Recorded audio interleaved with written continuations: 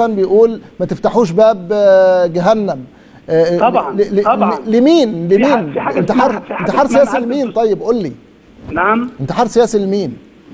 لأي واحد بيدعو للعب الدستور.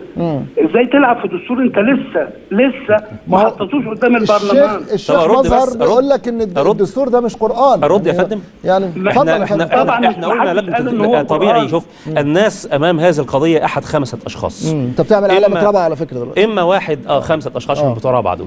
إما واحد شارك في كتابة الدستور فهو بيدافع عن منتجه باعتباره ابن من أبنائه ومش عاوز حد يجي ناحيته عشان التاريخ يذكر له إنه كتب الدستور ده. دي حاجة. وإما واحد كاره الرئيس وكاره الاستقرار ومش عاوز الرئيس ياخد صلاحيات أكتر إذا كان هو عاوز يسقطه. ودول طبعا الإخوان ومن على شاكلته.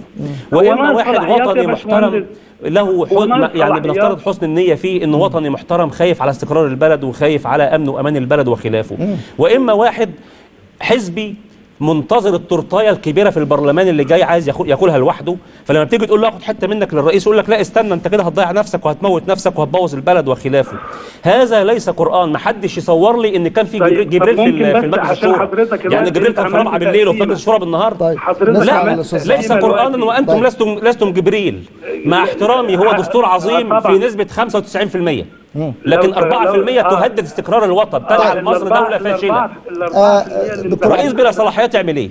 يبقى أنت عاوز يعمل إيه رئيس صلاحيات؟ أقسم على. احترام هذا الدستور بهذه الصلاحيات كل رئيس هيقسم وبيتعدل برضه هو أي رئيس أقسم ما لم. يعدل الدستور كمان في الدستور ليه نص. في المادة 226 على على تعديله هقول عن طريق لحضرتك الرئيس هقول لحضرتك إذا. كان هو بيط... يا جماعة أنا عايز اوضح حاجة أنا بطالب بتعديله وفق ما نص عليه الدستور طيب أنا هقول لحضرتك مش أنا اللي. بعدله شوف الدستور. قال إيه في التعديل ونمشي على الدستور ده لا يستطيع الرئيس منفردا لا يستطيع الرئيس يطالب أو يقترح تعديلات حلو قوي. أنا بقى بطالب الرئيس بإنه يطالب. وأنا هقول لحضرتك وبطالب البرلمان الخمس بتاع البرلمان بإنه يطالب. أنا مش عاوز أنا